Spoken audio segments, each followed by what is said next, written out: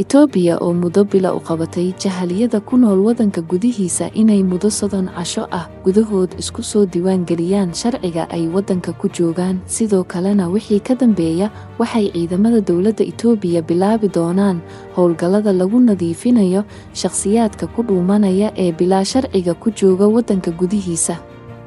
Sidaasna waxaa maalintii shalay sheegay sarkaal sare oo u hadlayay waaxda socdaalka iyo amniga dalka itoobiya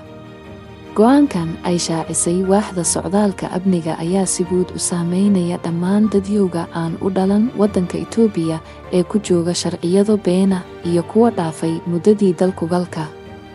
Jahliyadda sida sharcidarada ku jooga waddanka itoobiya ayaa waxay kor u dhaafeen sideed iyo toban kun sidaasna waxaa yidhi sarkaalka sare ee u hadlayay waaxda socdaalka iyo amniga dalka itoobiya go'aankan ayaa wuxuu ku soo beegmaysaa isbeddelka siyaasadda itoobiya sannadka cusub